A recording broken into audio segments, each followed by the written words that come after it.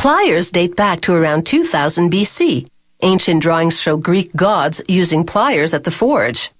Today, forgers still make pliers, but these days, they use automated tools to shape the metal. Pliers are standard equipment in the tool belts of electricians, plumbers, and mechanics.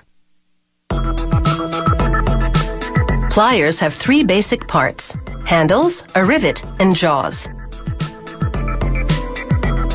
All the parts start out as steel rod that metal workers forge into shape.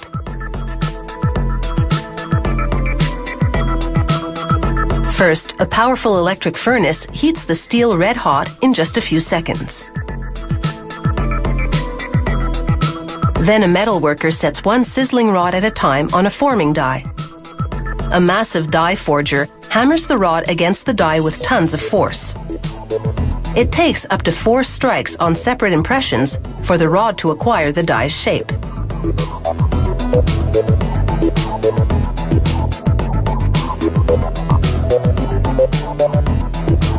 Then the forging is placed onto a press that trims off any excess steel.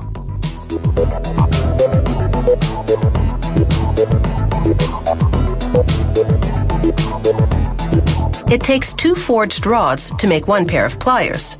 This pair will be for gripping, so the next step is to machine the teeth into the jaws. Workers set the plier halves into the broaching machine. Its tiny cutters, dozens of them, shave away steel under a shower of lubricant.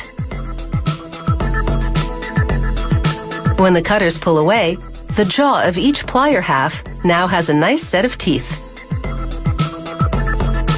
They must heat treat the steel to harden it, a process called austempering. The plier halves travel through a gas-fired furnace for about two hours at a temperature in excess of 800 degrees Celsius. Then they quench the steel in salt water to cool it rapidly and evenly. The teeth on these pliers will have to take a lot of abuse, so they get a laser heat treatment to make them even harder and more durable. Now the pliers are ready for assembly. For gripping pliers, a worker inserts a single piece rivet and joins the two halves. He then sets the joint onto a machine that spins at high speed, generating force and friction to set the rivet. Cutting pliers are also held together with a rivet, but the setting process is different. The parts go into a press that applies both heat and pressure to secure the rivet firmly.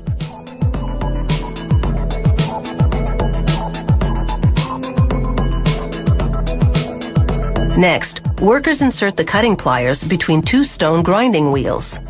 Again, lubricant prevents the steel from overheating as the wheels wear down the rivet until it lies flush with the plier surface.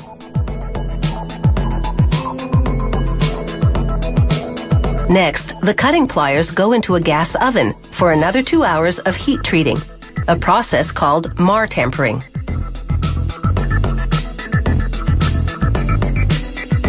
When they come out, they cool in an oil solution rather than the salt solution that cools the gripping pliers. Steel is a finicky material, so it's critical to manage the heat treating process meticulously, otherwise the metal will be substandard. After heat treating, the pliers go for a bath in a vat of rust inhibitor that helps protect the steel from corrosion and lubricates the riveted joints. A robotic arm runs one pair of pliers at a time against a grinding belt, polishing all surfaces except the handles for a sleek finish.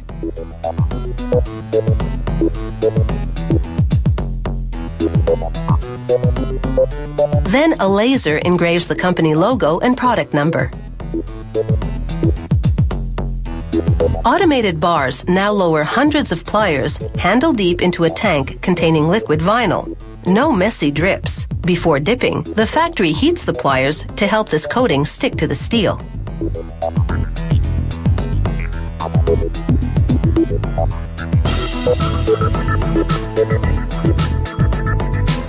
From there, the pliers go straight into an oven. The heat hardens the protective coating, cushioning the handles, so they're easier on the hands. Whatever their shape or size, pliers are a toolbox essential for anyone looking to ply their trade.